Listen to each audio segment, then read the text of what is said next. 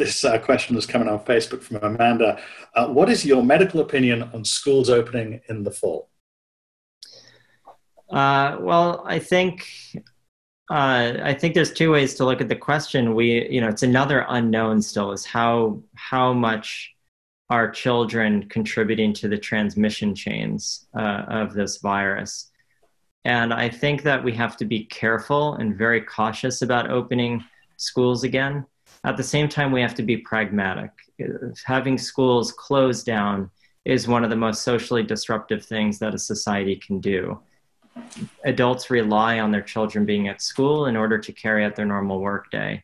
So there has to be a balance, and I think the conversation really has to start being about uh, balancing uh, public health from an infectious disease lens and public health from an economic and social lens. The, the thing that we don't want to find ourselves in is we, we don't want to find ourselves looking back and recognizing that the, the shutdowns and the economic catastrophe that came from that ultimately kills more people and younger people than than the virus would have uh, alone unmitigated.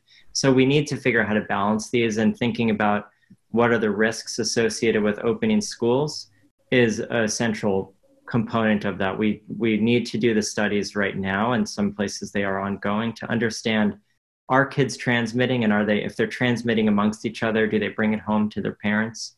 And what does that mean for the risk to their parents? And and we have to take all of this information that we don't yet have uh, fully into account to, to really understand these questions